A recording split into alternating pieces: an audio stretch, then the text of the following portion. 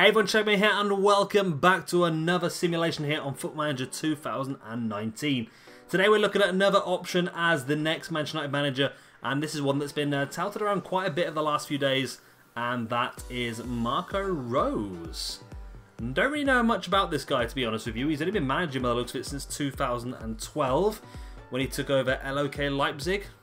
Not sure who that is. Uh, but then in 2013 went to Red Bull Salzburg um, in Austria. So it's a, it's a pretty interesting one. Again, it's not a very experienced manager. Um, I, I can understand probably with this working with youngsters of 17. Uh, that might be one of the reasons why we're looking at it. Man motivating and uh, man management and motivation, which are two skills that I think are so important um, as we found out with Mourinho that he really lacked. I think they're two very, very important skills. But it's going to be interesting to see how this one pans out. Like I said, not a lot of experience, but I dare say quite a bit of potential. So Without further ado, let's get straight to the end of the first season and see just how Marco Rose got on. And here we go, the end of season one. And Marco Rose has finished second in the league, finished only two points behind Manchester City, one point ahead of Liverpool, and four points ahead of Spurs. So um, quite convincingly, I think nine points in the top four, which is nice. Um, but only two points away from Man City is very, very good. And also, the oh no, there's um. What am I looking? What am I looking at? Pretty good goal difference, not terrible, and pretty average for that level. A lot of draws, the least amount of losses in the league, but 11 draws wasn't great. Uh, let's have a look then at transfer wise. Um. Oh, spoilers there for this season already. Uh, so Kieran Tierney from Celtic, good deal that one. Kevin Mbabu from Young Boys. Don't really know much about this guy to be honest with you, but looks like a decent player. Rafinha from Barcelona, that's a very good deal that is. I mean, he's worth 37 and they paid 11 for him. That's a really, really good deal. Marko Rog from Napoli, 23 years old. And Mark Bunn on a free transfer. Oh, interesting. So one thing I do notice is these um, these four players are all quite young to be honest. Rafinha being the older one at 26. So it's quite a young set of transfers, obviously looking to build for the future, which I think is what a main manager needs to do. Right, what went out though? Ashley Young for 2.6 million, fine. Andreas Pereira for 4.4, disappointing, but I think it's probably likely. Darmian to Leicester for 3.8. Fellaini to Porto for 11.5. Lee Grant went out. Juan Mata for 14 million. So did have quite a bit of a clear out of quite a bit of the, the uh, I wouldn't say dead wood as such, but quite a lot of the players that are no longer needed by the club. So pretty interesting. Um, who did him well this year then? I'm too far ahead. I'm not able to see it, am I? Boom! I can't see it. Okay. Well, we'll have to ignore that for now then. Um, so yeah, second in the league. We'll have a look at the rest of the fixtures then, see how we got on the rest of the competitions. Where our schedule. I've gone too far, haven't I? There we go.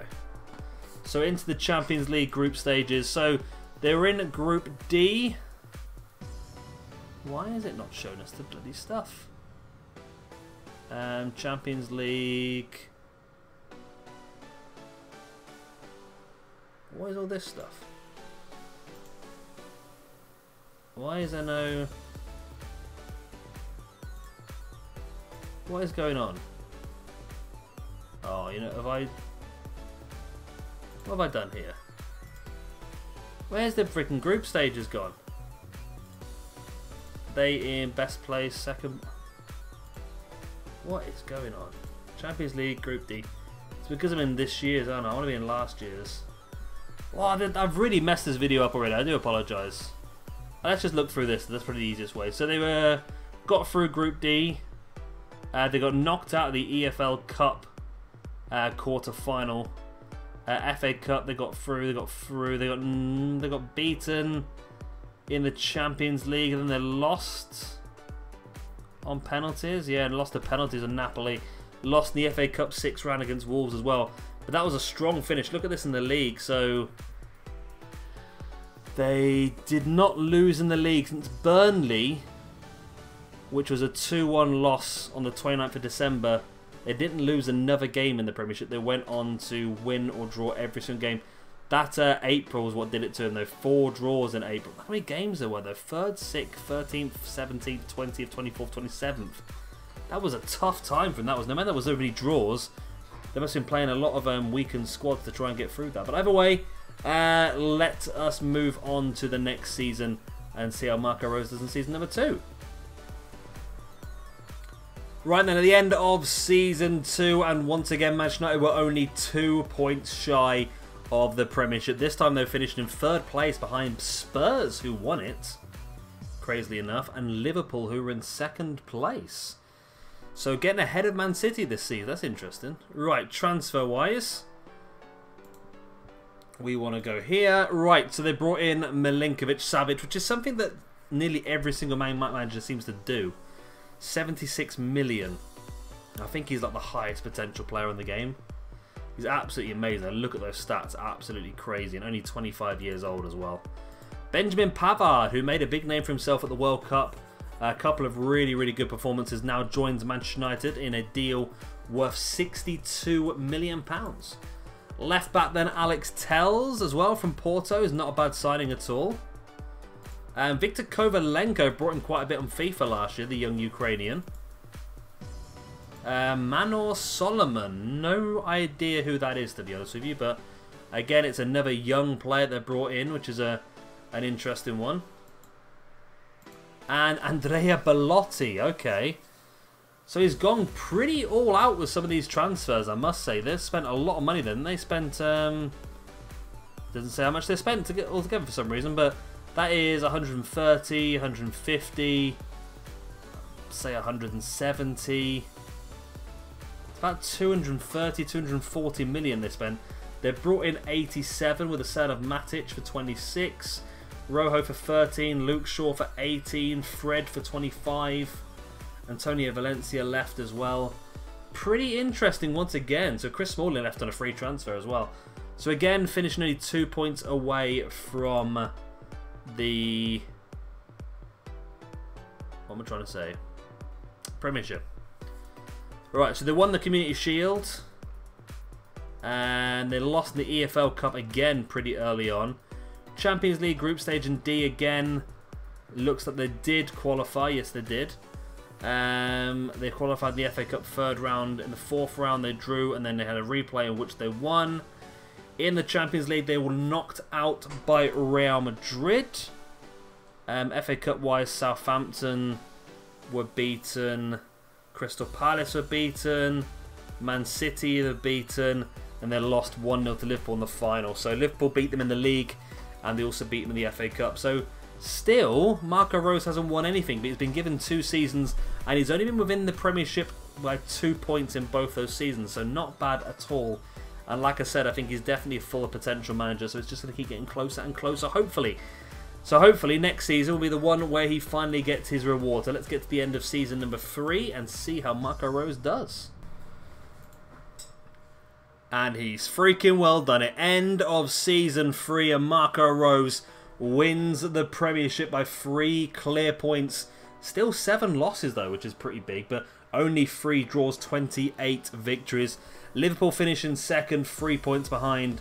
Spurs finishing six points behind in third. Arsenal still in that fourth place on 80. Man City only getting fifth with 77. Chelsea getting sixth with 72. And Southampton win the best of the rest. Weird. Um, but yeah, what a win that is. So Man United winning the Premiership. Right, into the transfers then. We will head to the history and boom, we'll go back one. Right, so in this season they purchased Declan Rice. That's a pretty big deal. 22-year-old English player and played a few games this season. They paid 35 million for him. James Rodriguez was purchased as well.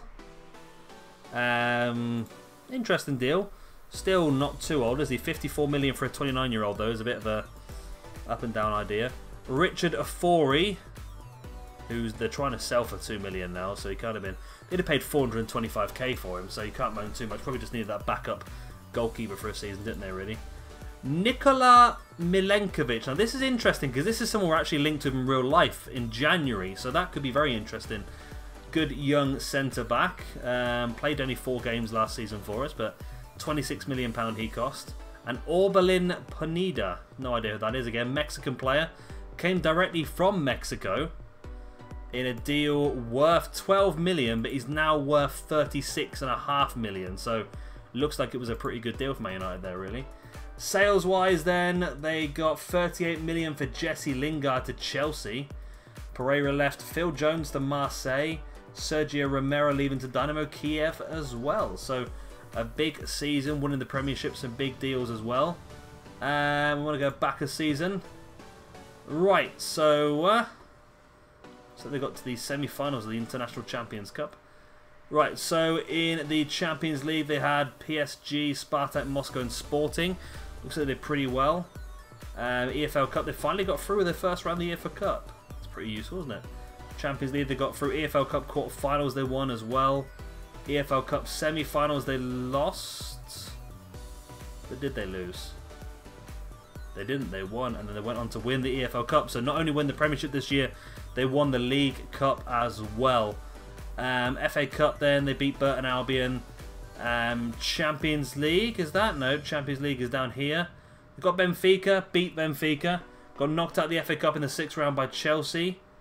Um, beating Liverpool. Oh, this could be good. This could be Champions League. Oh, so he nearly had an amazing season, Marco Rose. Won the Premiership, won the League Cup, and was losing, losing second place in the European Champions League final. Wow. That was, uh, a could have been a really big one, that one. That could have been a massive, massive season, but it could be a massive season for him and help him push on further forward. Let's give him another season and see if he can defend his Premiership, maybe go one step further in the Champions League. Yep, they defended it. 84 points was again enough to win them the Premiership, but 8 games lost. It's pretty crazy, really, isn't it? That's a lot of games to lose and still go on to win the Premiership. but They did win it by 3 points. I think that just shows how much the Premiership is starting to close up uh, in regard to quality. Um, it's a really good... I can't believe they won it two years in a row. Marco Rose done a fantastic, fantastic job. Right, transfer history... Right, Matthias de Ligt, 114 million they paid for this guy. And obviously it was worth it because he had a fantastic season. Um, 31 games, 3 goals in the centre-back position, 22 years old. Gonna really just hold that back line down for an incredibly long time, really. Uh, also, Thiago Almada, Argentinian from Vélez, played 28 games last season. So obviously he was given a lot of opportunities for the 21 year old. Cost 8.25 million that deal did. And he's now worth 29. That seems like an absolute steal, doesn't it? Filip Benkovic, Croatian centre back from Leicester. That's an interesting one, but he does have fantastic stats, to be honest with you. Looks like he might be more of a backup, only playing 9 games last season. 49 million. And the last one is Larramendi, 14.25 million for the 32 year old Spanish defensive midfielder. I dare say was more of a bit of a cover, only playing 11 games, but still, it's if you can get the right move, you get the right move. No one really left. I think Fosu meant to the only person leaving for money, and he went to West Ham, who went on to get relegated. Scott McTominay went to Atlanta United, and Ro-Shaun Williams over to Barnsley. Head to the schedule. Drop back a year. What else did they go for then? So, they won the Community Shield. Champions League, they had Sevilla, Bruges, Juventus. Looks like they did okay in that group. Won the EFL Cup second and third rounds. Lost in the quarterfinal to Everton though. Looks like they got through the Champions League. FA Cup, they won the third round against Cardiff, won the fourth round against West Brom, won the fifth round against Hull. Uh, they got Bayern Munich in the knockout stages, beat them, beat Arsenal in the sixth round of the FA Cup, beat Spurs in the semi-final, think they lost to Benfica on away goals. No. They did not. Because they went through to the semi-final playing PSG in a match they won. They lost 3-0 in the FA Cup final to Manchester City. But they won the Champions League, beating Inter Milan 2-0 in the finals. Wow. That's a, another massive season. They almost won the treble. Wow. If they'd beat Man City in the FA Cup final, they would have won the treble. That would have been massive. Premiership, Champions League, FA Cup In this day and age, that would have been absolutely huge. Absolutely huge. Wow. Well done, Marco Rose. So far, you are proving to be the best manager Man United could have. Absolutely stunning results this guy is getting. That's two premierships in two years and a Champions League now as well. Losing in the Champions League final last season and losing in the FA Cup final this year. Let's give another season and see if he can continue this run of winning trophies. So a bit of a drop this season, gone from winning the league for uh, two years in a row, sorry, now to finishing fourth on 80 points. Only 12 points behind the winners Liverpool, but still that's a big drop from winning the league two years in a row. It was always going to be difficult to do it again, though, wasn't it? Man City finally getting back up the league into second. Arsenal in third. Man United finishing fourth, just a point ahead of Spurs. And then Chelsea in sixth. Right, let's have a look at transfer-wise what happened this season then. I can already see one of the big transfers as we just skipped through there. Uh, right, Thomas Lemar, 94 million pounds from the French winger from Atletico Madrid. That was a big, big deal, that was, wasn't it? Big, big deal. Got 24 games and 5 goals last season. Andre Horta from Porto. The uh, Portuguese centre midfielder played 19 games, 1 goal last season. And he cost them 33 million as well. Hampus Lundberg. Young Swedish player, didn't play any games. I dare say was playing in the uh, reserves and the under 23s. Um, Looks like a pretty decent player actually for a 21 year old. Only cost them 2 million, so why not? Jamal Lewis from Leicester is a real player. He's Northern Irish and he is a left wing back. Played 10 games and they've already sold him. Okay. And last but not least, they also signed Oystein Juvik, another youngster, this time Norwegian. Nine caps and zero goals for the nation. And didn't play any games for Man United last season. Was he on loan last season by looks of it? He was. He was on loan at Lokomotiv Moscow where he played twice. Which wasn't very good, was it really? But there we go. Um, Sales-wise, Ander Herrera leaving for 10 million. Lukaku leaves for 30 million to Real Madrid. Um, Milenkovic, the defender, left for Watford. Eric Bailly to Barcelona. So some big outs this season. But that massive deal for Lemar didn't really help them as much as they hoped it would, did it really? Right then, let's have a look at what happened this season. As they won the UEFA Super Cup against Man City. That means Man City won the Europa League. That was pretty interesting. That means Man United won the Champions League. Man City won the Europa League. That's cool. Um, Champions League. They have Milan twice in six days. That's a bit weird. Um, Zenit St. Petersburg, Valencia. So they won all the games bar one, which was just the um, the home game against Valencia, uh, the away game against Valencia, which was two two. Um, what a weird season this was. How? I'm confused here. I'm really confused. This is a real weird setup. So they had the normal pre-seasons. They had some games. And they got down to December. They had four friendly matches in December. Did they have a Christmas break, maybe? I've never seen this before in the game. They had a a friendly against Bayern, a friendly against Palermo. They had a De Gea testimonial against Atletico. Then we had the EFL quarterfinals and the. This was really weird. This was right. Colchester won the FA Cup anyway, and the group stage H is down here. Is this to do with the World Cup? Do you think 22 to 23? That might be to do with the World Cup uh, in 2022, I believe. Looks that way, doesn't it? It's really messed up the whole season though. Right, Brighton were beaten 2-1 in the FA Cup fourth round. Champions League knockout stage, it looks like they beat Napoli on away goals. Or did they? Oh, I don't know. They did, yeah, okay. FA Cup, they beat Cardiff on extra time, then beaten Watford. Then they've knocked Spurs out of the Champions League. Three games against Spurs in the space of eight days, and they did not lose a single one, which is great. And then the semi-finals came along and they got absolutely hammered by Man City once again. Then lost to Man City in the league. Then lost the FA Cup final to Arsenal. So it really fell apart this year. I mean, Champions League semi-finals not bad. Still finished top four, which is not bad. Lost in the FA Cup final, which is not bad. I wouldn't say you could sack him, but I wouldn't necessarily say this was a successful season. So without further ado, let's get into the next season and see if he can turn things back around.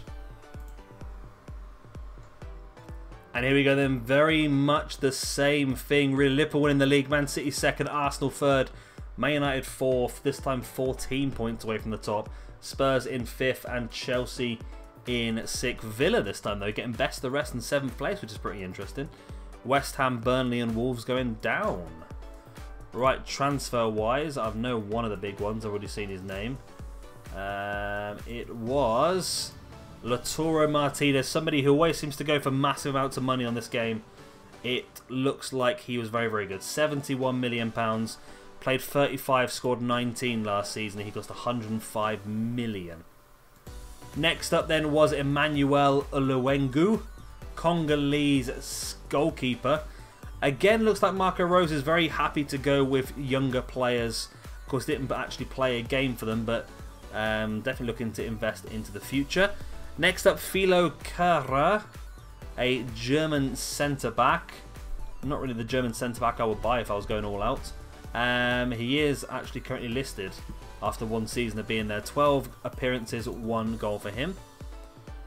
Uh, Ilya Martinyuk, a Russian centre midfield and DM. He's got 14 caps at the age of 21, which is quite impressive.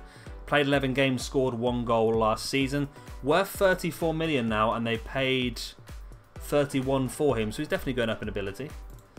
Ben Chilwell, that was an interesting one. Of course, they probably did need to have their English um, coefficient built up a little bit, maybe. 19 million. Kai Havertz, 76 million. 76 million. and He only played 12 times. Bloody hell. Um, but it's a good deal. He's a very good player, only 25 years old. Uh, Karlo Letica, a Croatian goalkeeper, looks fantastic actually, stat-wise. Seven games, uh, sorry, five games, seven conceded. And Sebastian Driussi, Argentinian striker, 11 games, three goals. Definitely building the squad up a bit this season by looks of it. 203 million pounds in. Marcus Rashford, wow. Marcus Rashford, 148 million pounds for Marcus Rashford. 148 million. I've never seen a transfer that high before. He scored 20 goals in 25 games for PSG. That is huge. Um, Telles went to Juventus for 24.5. Jamal Lewis went to Brighton for 8.5. Declan Rice to Bournemouth for 18.25. And £4 million for Dean Henderson. But that was the big one. Marcus Rashford, 148 million to PSG. That was huge. Right into the schedule then. Right, so a bit more of a coherent season this time, hopefully. So they've got PSG in the actual Champions League groups. There's no what did he score? No, he got Mbappe as well. That's stupid, isn't it? But in that one. No, he didn't score in that one either. That was good for them. Um, so they've got PSG, Spartak, and Leverkusen. Looks like they did do just about enough to go through. Um, EFL third round. They lost to Bournemouth in the third round, so they're out of that already. Moving forward, Fulham in the FA Cup was a win. Rotherham in the FA Cup was a win. Ipswich in the FA Cup was a win. They knocked Bayern Munich out of the Champions League. Knocked Chelsea out of the FA Cup. Lost to Man City once again. Uh, beat Juventus 2-1 in the Champions League to get to the semi-finals again.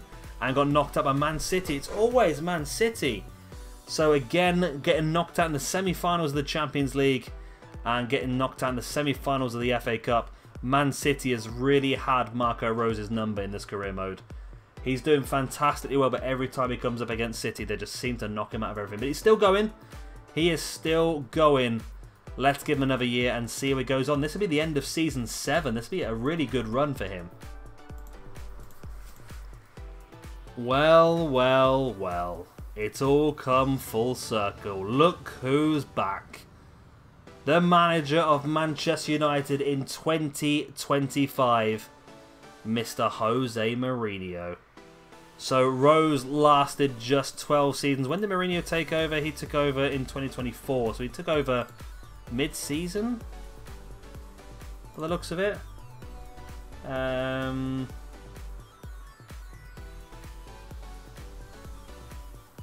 uh,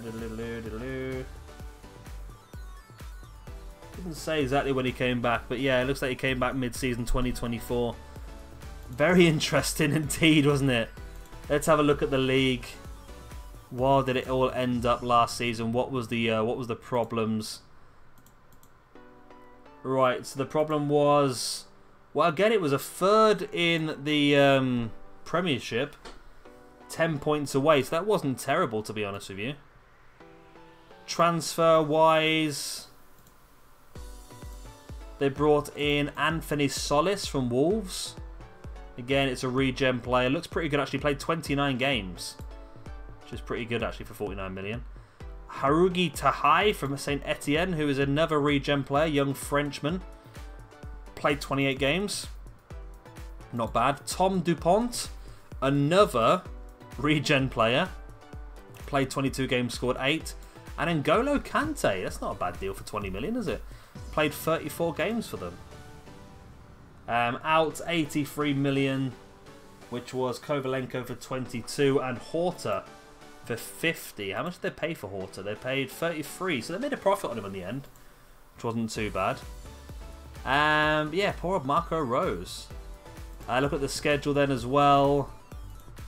Let's just go right to the end we don't know anything else. Uh, knocked out the Champions League in the first knockout stage.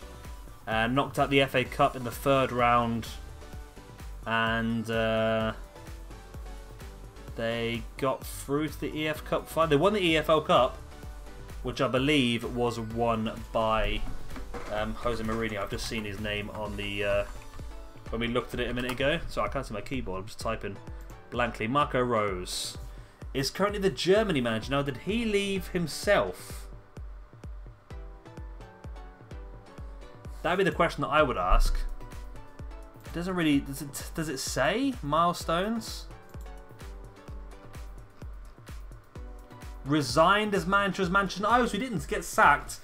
He resigned in 2024 as a manager to take up the Germany role. Oh, okay. So he's gone to bigger and better things, apparently, in his mind. So there we go. That is the end of the simulation of Marco Rose as Man United manager. He lasted, say, six and a half seasons won the Premiership twice, won the Champions League once, got very far in the Champions League in every single season. Um, hopefully did some pretty cool stuff. Won a lot of different things and hopefully won a few hearts and a few minds. Again, he's very much a young option, not very experienced, but he could be worth a risk as the new Man United manager, who knows. Then again, with Solskjaer doing so well, is he worth more of a risk than Solskjaer? That's the big question that we'll have to ask. But there we go, that is Marco Rose done in this simulation. We've still got another eight managers, I think, for you to come through over the next um, few weeks, so keep an eye out for those. Um, but yeah, if you ever enjoyed this video, please do hit a like and of course subscribe if you want to see some more. I have been Shabby Gamer, thank you much for watching, and I'll see you very, very soon for our next simulation here on FUT Manager 19. Bye.